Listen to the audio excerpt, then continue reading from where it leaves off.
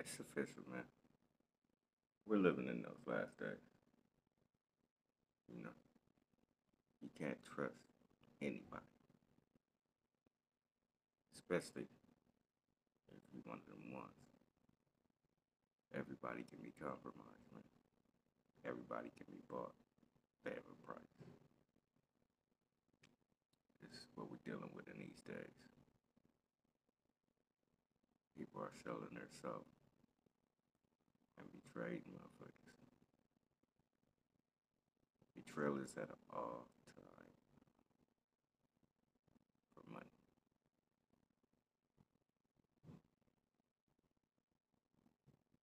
Riches.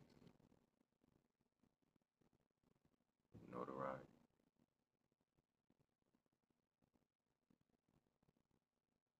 This is what we came to.